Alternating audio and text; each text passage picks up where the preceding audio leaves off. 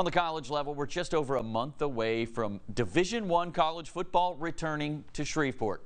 The Radiance Technologies Independence Bowl is all set for Saturday, December 16th. The matchup is set to be the Big 12 against the Pac-12. The I-Bowl will most likely be getting the seventh choice from each conference. Now, over the next couple of weeks, I'll be giving you my projections for the bowl games matchup. This week, I'm going with West Virginia against UCLA. Now, West Virginia's from the Big 12. They're currently 6 and 3 on the season and have games remaining against Oklahoma, Cincinnati, and Baylor. UCLA, and the Bruins, also 6 and 3.